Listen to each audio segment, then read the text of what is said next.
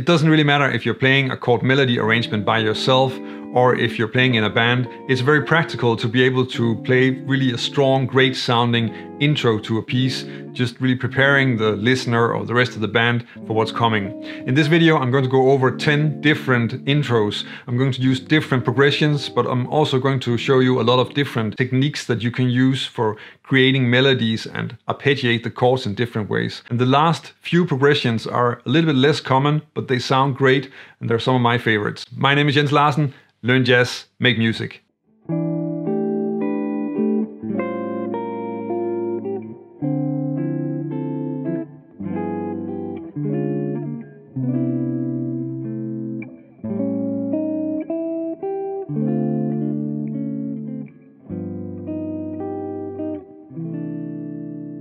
The turnaround is of course extremely common, but that doesn't mean that you can't do beautiful things with it. And it is extremely simple and extremely clear, which is of course very useful for an intro. This progression is really simple, so it's just a 3-6-2-5 and then a 1-6-2-5. Uh, the only thing that's changed is that I have an A7, so a secondary dominant to D minor, instead of a 6 chord. Uh, I think the most characteristic thing about this intro is that I'm using this way of arpeggiating the chords that's a little bit different. So this is the first voicing, the E minor 11. But I'm not just playing the voicing, I'm really playing it uh, sort of two strings at a time to get this sort of bell-like sound out of it. So moving to A7. Then the same idea, kind of creating a motif because we have the same kind of sound on the D minor. And then moving to a G7, 13 flat 9, so sort of a diminished scale sound. And then another diminished voicing moving back to C major 7. So this is a C major 7 with a 6 and a 9. And here I'm moving the inner voices B and D, so the 9 and the 7th, down to the 6 and the root, so. And then a melody on the A7. The melody is an F on D minor, and then we get another sort of second voice moving under that, which is D, C sharp C down to the G7 chord. Then the melody returns the top note, so G7 flat 13, resolving to C major 7.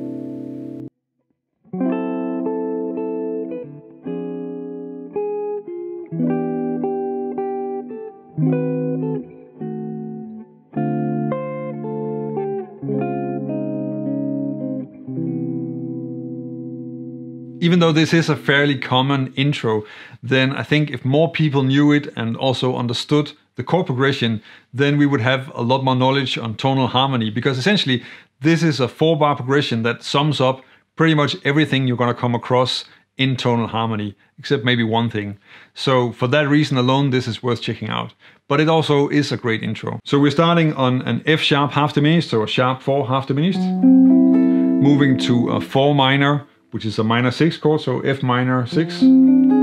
And this resolves to a tonic chord, so that's an E minor. Moving to another sharp 4, which is a sharp 4 diminished chord in inversion, so that's an E flat, in this case with a flat 6. Moving to D minor 7, so a 2 chord, and another minor subdominant, that's an, the Neapolitan subdominant, so a D flat major 7, resolving to the tonic chord. And the way this is all tied together is through the melody. You can actually play this, or variations on this, so that you have the C in the melody all the time. That's another option. But for this one, I just wanted a little bit more of an interesting melody. So I'm playing first. And then I'm turning that into a motif, so. And then on the D minor, just to take things really and get them to move towards the, the tonic chord, then I'm first playing the D minor chord. And then we have this line, which is just really moving down through the chords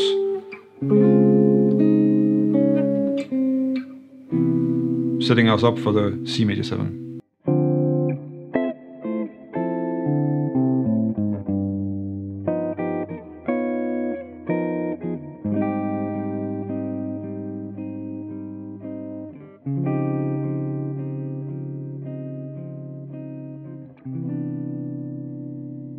When you're in major, you can borrow chords from the minor key, and that works really well. It's also often called modal interchange. And it's just a great way to get some really different sounds that still fit and move well in the progressions that you're playing. So this example can actually double as both an intro and also as a turnaround because the intro really, really resembles a very standard ending of a song where you just have now two substitutions that's going to take you back to the beginning. The progression in this example is really simple because it's of course just a 2-5-1, so D minor to G7, going to the flat 6, so really just a chord borrowed straight out of minor, and then going to the Neapolitan subdominant, which is D flat major 7. Essentially that's just like an F minor triad with a flat 6 in the bass, so just an extra leading note. This example is really using a lot of sort of piano type sounds. So what I'm doing here is almost emulating uh, sort of several layers on a piano. So the first part is like the left hand playing a shell voicing. Then we get this harmonized line where I'm really just moving up, which would be sort of the other hand. So, and then again, lower register movement with the bass line. And then we get another harmonized melody. And then going to the A flat major 7, so here I'm trying to just arpeggiate, so that again using intervals, but then just give this sound, because we want to have the sound of this chord, but we also want to have the movement still, so. To D flat, which is of course D flat major 7 sharp 11, and then resolve to C major 7.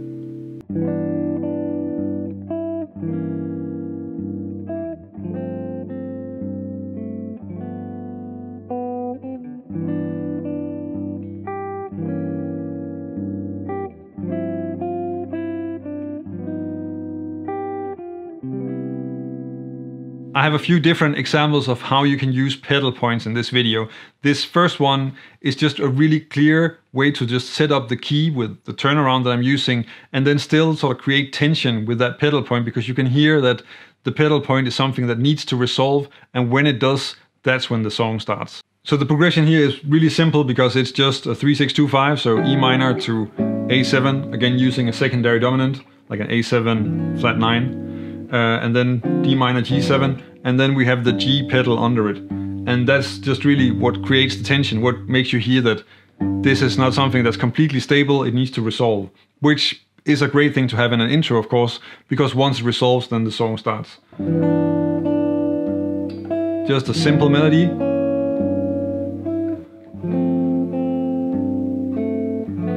Down to G7 here. And then we get really the same kind of melody, but just a slight variation with this higher note. And that's actually also just building a little bit more tension. And then the beginning of the resolution. And then we're starting the song.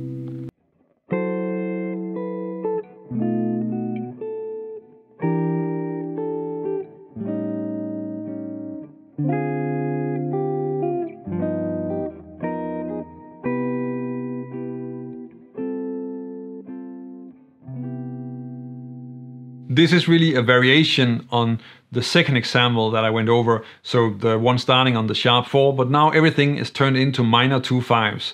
And I think one of the reasons for that is that when we have all these minor two fives after each other, then they're pretty unstable. They really want to resolve, so everything is sort of driving forward, and that's, a, of course, a good thing for an intro. It makes it a little bit less clear, but uh, we're kind of solving that problem by going to the C major one bar before the song would start and then adding a G7 before that. And in a way, this intro is really just a variation of the intro to Round Midnight from Monk, which uses exactly this progression.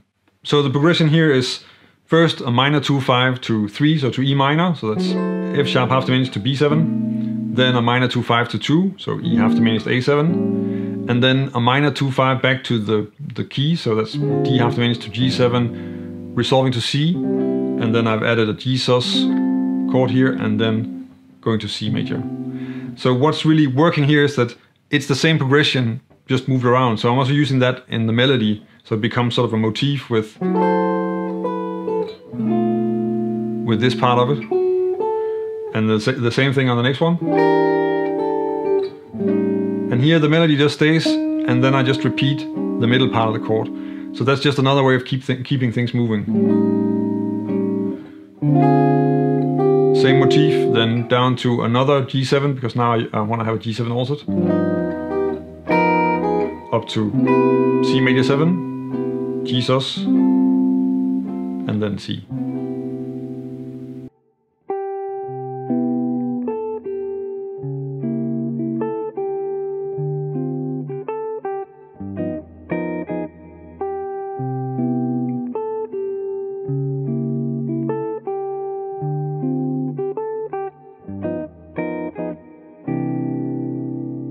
Until now, the main focus has been on the chord progression that I'm using in the different examples, but you can also use the melody as sort of the, the main character. And that's what I'm doing here. I'm playing just a short riff and then repeating that.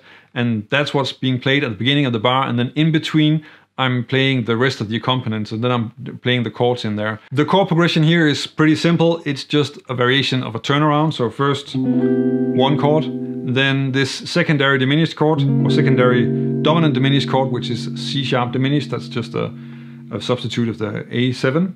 Then D minor 7 and then a G7 and that's repeated. So really what makes this work is the way that I'm playing it. So first we get a melodic statement that's and then in between we get these accents in the comping. Another melodic statement and then a accompaniment.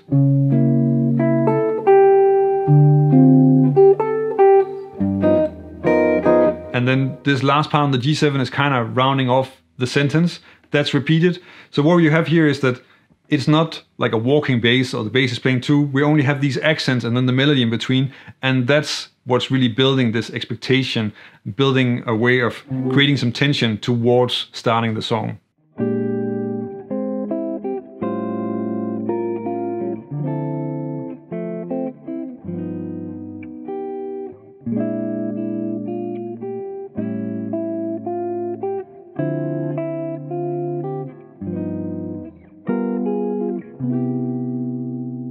This is a variation on the basic turnaround that I started with, but I'm disguising that it's in C major, and I'm doing this by starting on the B flat 7, which turns out to be a tritone dominant for uh, for the A7, that's a secondary dominant for D minor 7. So in that way, it's a little bit less clear what's going on and makes it a little bit more exciting and it moves along a little bit faster. And then finally, at the end, you can really hear that it's in C major. Here, the B flat 7 is a tritone dominant for A7, so that's the secondary dominant of D minor. And then we just get that 2-5. And then this is repeated. So B flat 7, A7, D minor, G7. And then we go to the beginning of the song, which is C major. And here I'm really exploring some different ways of using arpeggios and especially uh, arpeggios that are harmonized in intervals. So I'm starting on this B flat 7. Then I'm introducing this arpeggio, which is essentially just a C major triad, but it's harmonized like this moving to A7. And here I'm also playing an arpeggio, but that's really just playing this chord voicing and then in string sets. Moving to D minor 7. And then another arpeggio, which is just an A minor triad, which kind of becomes like an F major 7 because I have the third under it here. So going to G7 flat 13. And then the next part is sort of tying the whole thing together and moving it along by repeating the same melody on top of the first three chords. So.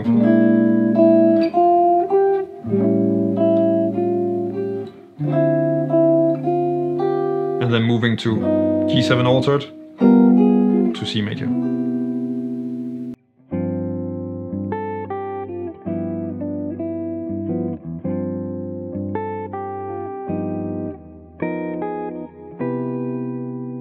The first example using a pedal point was using an entire turnaround as a chord progression. But of course, you can also make a simpler version of this that's just using the five chord and its suspension.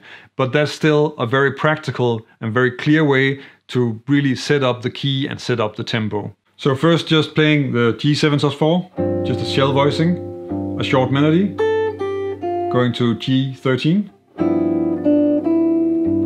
back to the C sus, repeating that melody so it becomes a motif or a riff. And then to mark that we're moving to the tonic chord, going to an altered dominant just to be really clear about it. So, and then resolving to C major 7.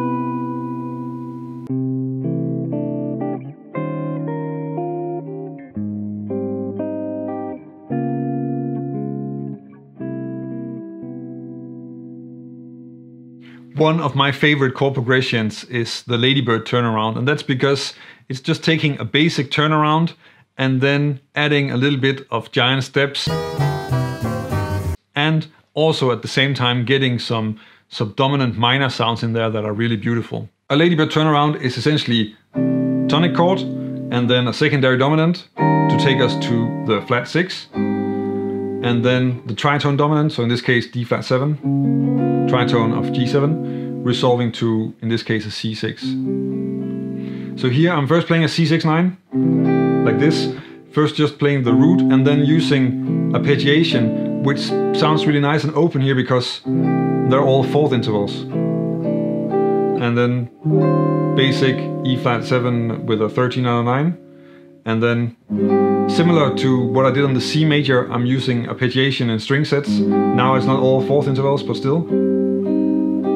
Moving to this D flat 7, 13, where I'm using this inner voice to take me down and resolve to first C6, moving up to a C major 7.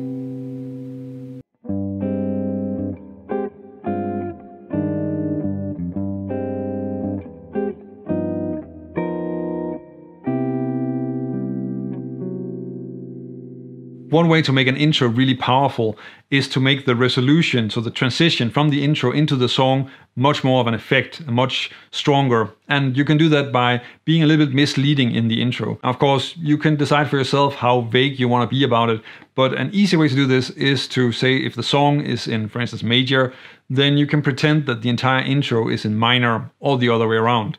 So in this example, that's exactly what I'm doing. So I'm playing suspended G chord. So it's essentially just a pedal point on the dominant chord. But I'm taking a dominant and a dominant sound that's coming from minor. So I'm playing a G Phrygian chord, which is a G7 sus4 flat 9. And that's sort of the basic sound that I'm working with. And then once the song starts, or the final resolution, I'm actually going to a C major chord. And that just makes that much more effectful. And of course, you can do it the other way around as well. You can pretend to be in major and then suddenly still resolved to minor. There is a Kurt Rosenwinkel trio uh, song where he does this, where he's playing a long intro in major and then resolves it to minor and plays the song in minor. The chord progression is pretty simple here because it's all just G Phrygian or G sus4 flat 9. So I'm first playing this, which is essentially just an A flat major 7 with a G in the bass. Moving up to this, you might recognize that as the top part of a D half diminished. So all the all that kind of sound. I'm just using different chords within that sound. This one as well, and then this one, which is also just a nice change with the flat 13 and the fifth on top. Then a bass mo movement, bass melody.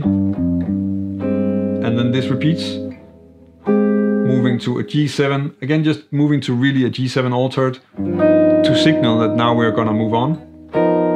And then we get this C major 7. And here I'm adding the fifth down to the sharp 11. So of course, this kind of thing is uh, something you want to be a little bit careful with in the, part, the first part of the song, especially when you have this interval within the voicing. I actually think it sounds really nice, but uh, it's also the kind of thing that can get you fired really quickly. You can use all this material in your own chord melody playing, just take out both progressions or maybe some of the ways that I'm playing the chords. But if you want to check out more on how I approach playing and making chord melody arrangements and how I also work with chord solos, because those two things are really, really closely related, then check out this playlist where I'm covering sort of the basic skills that I pull from when I work with this.